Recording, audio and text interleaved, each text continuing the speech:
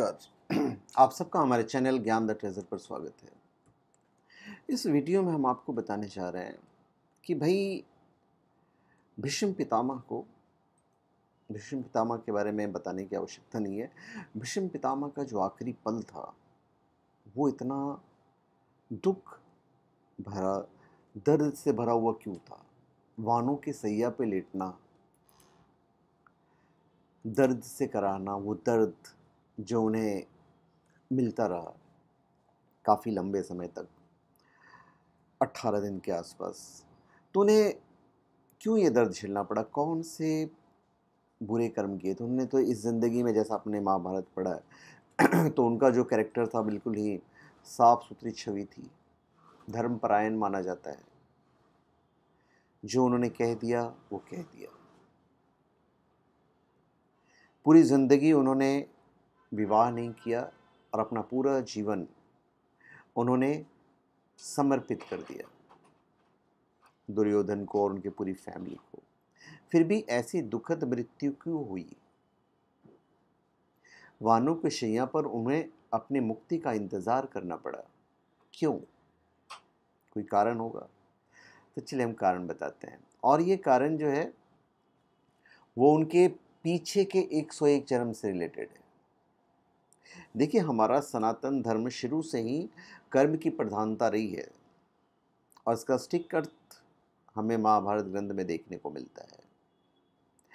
गीता में भगवान श्री कृष्ण ने कर्म और उसके फल के बारे में विस्तार से बताया है कि कैसे किसी भी प्राणी विशेष को उसके अच्छे या बुरे कर्मों का फल भोगना ही पड़ता है। देखिए गंगापुत्र भीष्म पितामह की महाभारत में अहम भूमिका रही है। उनके भीष्म प्रतिज्ञा से तो सभी भली बात ही परिचित हैं, आपको बताने की आवश्यकता नहीं है। तो भीष्म पितामह अर्जुन के हाथों वानों के सैया पर पहुँच गए। युद्ध तो कई दिन तक और चलता लेकिन भीष्म घायल अवस्था में उसी तरह वानों पर बने रहे और फिर युद्ध समाप्ति के दस दिन बाद पांडवों सहित जब श्री कृष्ण पितामह भीष्म से आशीर्वाद लेने पहुँचते हैं तो भीष्म पूछते हैं कि हे वासुदेव, क्योंकि उन्हें वो मालूम था उन्हें कि भाई ये भगवान श्री कृष्ण ही भगवान विष्णु हैं, उन्हें मालूम था। वो जानते थे कि सूर्य के उत्तरायण होने पर प्राण त्यागने से सदगति प्राप्त होती है और ऐसा करने से उन्हें मोक्ष की प्राप्ति हो जाएगी। और वो ऐसा अपने पिता के द्वारा दिए गए इच्छा मृत्यु वरदान के कारण ही कर पाए थे। और जब तक वो सैया पे लेटे रहे, तब तो वो सोचते रहे कि, भाई, मैंने पाप क्या किया है? कौन से बुरे कर्म किए हैं? पर उन्हें जवाब नहीं मिलता है। तो जब भगवान श्री कृष्ण आते हैं, मिलते तो पूछते हैं कि, हे मधुसूदन, मुझे अपने अब तक के जीवन के पिछले सौ जन्म याद हैं और अपने उन सौ जन्मों के कर्मों का भी स्मरण है। उनमें तो अद्भुत शक्ति थी। वो चाहते थे पूरा महाभारत युद्ध समाप्त कर सकते थे। और कहते हैं कि मैंने कोई पाप ही नहीं किया है। फिर विदाता ने मुझे इस असहनीय पीड़ा को सहने के लिए क्यों चुना है? तो भगवान श्री कृष्ण मुस्कुराते हैं। कहते हैं कि, पितामह, आपने सही कहा कि सौ जन्मों में आपने कभी किसी को कष्ट नहीं दिया।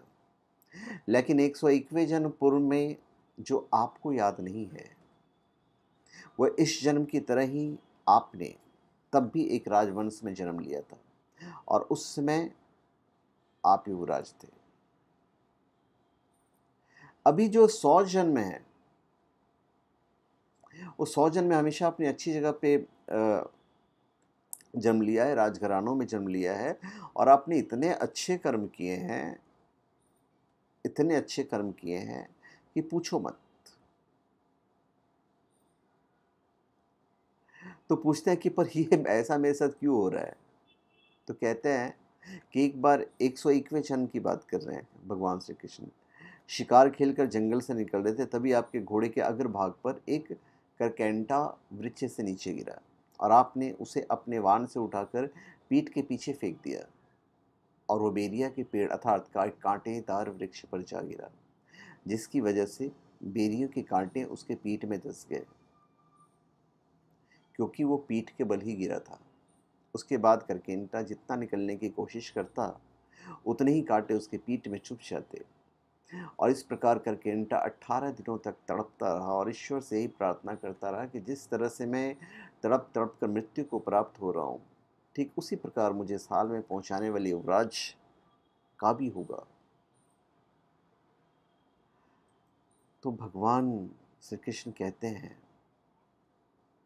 कि पहले भी आपने एक राजवंश में ही जन्म लिया था और आपने कर्म हमेशा अच्छे किए हैं। आपके पुण्य कर्म ऐसे थे कि आपका पुनर्जन्म बारंबार राज परिवारों में होता रहा और उस करकेंटे का श्राप यथार्थ नहीं हो पाया। परंतु इस जन्म में हस्तिनापुर की राजसभा में सबके सामने द्रौपदी का चीरहरण होता देखते रहे आप, और आप मूक दर्शन बनकर देखते रहे। जबकि आप चाहते तो अत्याचार होने से रोक सकते थे, भीष्म पितामह रोक सकते थे, उनके सामने कोई कुछ नहीं बोल सकता था।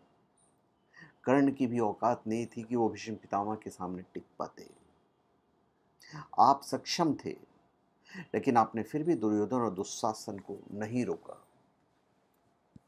इसी कारण पितामह, आपके सारे पुण्य कर्म छीन हो गए और करकेंटा का श्राप आप पर लागू हो गया। भगवान श्री कृष्ण आगे कहते हैं कि, हे गंगा पुत्र जिस अवस्था में आज आप तड़प रहे हैं, यह आपके सौ जन्म पूर्व के इस कृत्य का ही फल है। इस मृत्यु लोक में जन्म लेने वाला प्रत्येक मनुष्य को अपने कर्मों का फल कभी न कभी भोगना ही पड़ता है। याद रखें कि प्रकृति सर्वोपरि है और इसका न्याय आज नहीं तो कल होकर ही रहता है।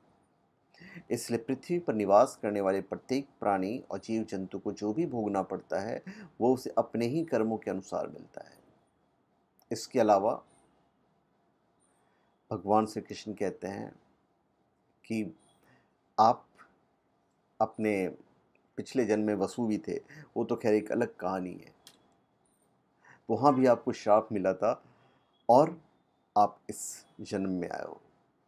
तो यही कारण था, अपने कर्मों का फल उन्हें भुगतना पड़ा।